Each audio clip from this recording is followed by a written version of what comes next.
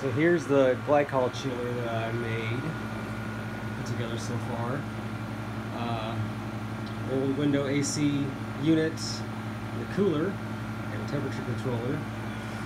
I've got the skins back on the, the AC unit right now, so I can't kind of show you all the way inside, but let's see. You kind of see there, it's been gutted.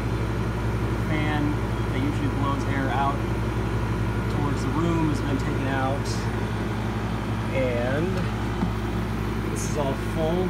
That's the evaporator. That usually, usually the air gets blown through that to cool it down, or pulled through it and then blown out in the room. That cools everything down. So that's dunked into the water there. I don't have the glycol in yet, but um, we've got the temperature controller. The sensor is here. That goes down into uh, stainless steel dip tube thing, well. I got a little pond pump wave maker thing in there circulating know, water around. Um, I will be putting glycol in here, uh, but I'm just testing it with the water right now.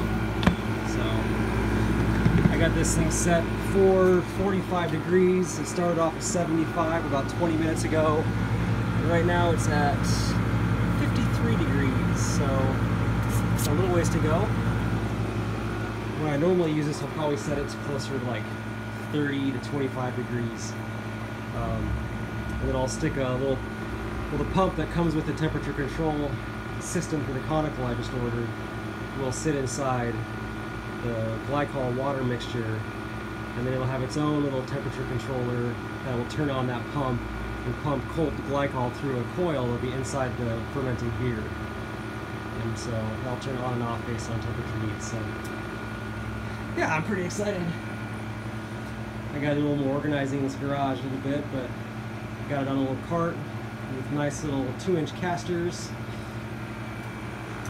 And uh, yeah, that is it.